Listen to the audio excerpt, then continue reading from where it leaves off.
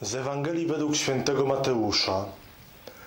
On ją zapytał, czego pragniesz? Pan Jezus spotkał na swojej drodze bardzo wiele kobiet, które czegoś od Niego chciały. Niektóre błagały o to, by je uzdrowił po 18 latach. Niektóre prowadziły y, swoich synów do grobu y, i błagały o to, by je uratował. Także jego matka czegoś od niego pragnęła. Powiedziała: Wina nie mają.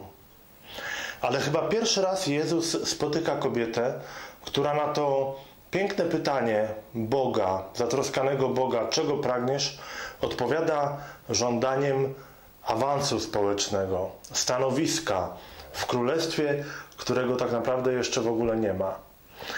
Czy Jezus był zawiedziony, czy był rozczarowany człowiekiem, y, czy pomyślał sobie, kobieto, uspokój się, mam ważniejsze sprawy?